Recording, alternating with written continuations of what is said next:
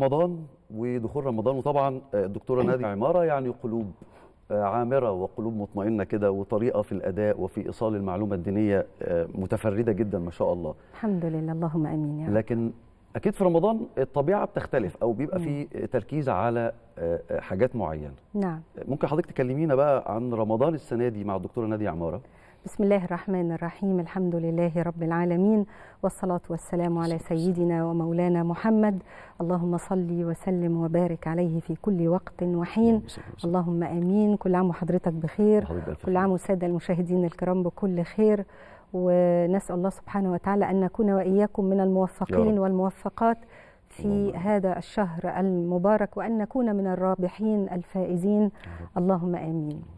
بما إنه شهر القرآن الكريم شهر رمضان الذي أنزل فيه القرآن فمع يعني إطلالة هذا الشهر المبارك بتبقى في نوع من الزيادة في فقرات برنامج قلوب عامرة وبيبقى في تغيير في خلال هذا الشهر المبارك في فقرتنا في البرنامج. طول العام إحنا بنكون في رحاب التفسير الموضوعي لسور القرآن الكريم وبناخد أسئلة المشاهدين على الهواء وبنرد عليها قدر الطاقة في ذات الحلقة أو في أقرب حلقة بحسب يعني أنواع الأسئلة. ربما بعض الأسئلة تحتاج إلى بحث ومراجعة.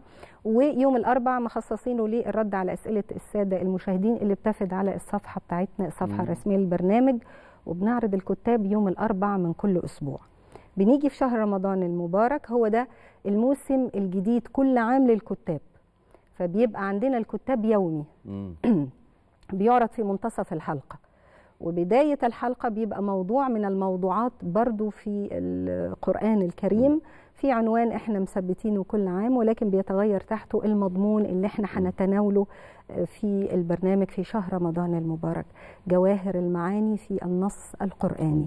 فبناخد كل سنة من هذه الجواهر بعض هذه الجواهر وكلها جواهر لا تنضب ولا تفنى أبدا ودائما إحنا بنبحث وبنحاول يعني نخدم هذا النص الشريف قدر طاقتنا البشرية ونرجو من الله سبحانه وتعالى القبول.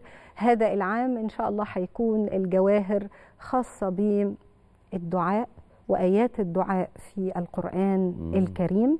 وهناخد برضو في الحلقة أسئلة المشاهدين وقدر الطاقة نحاول نجاوب على أغلبها في ذات الحلقة. طيب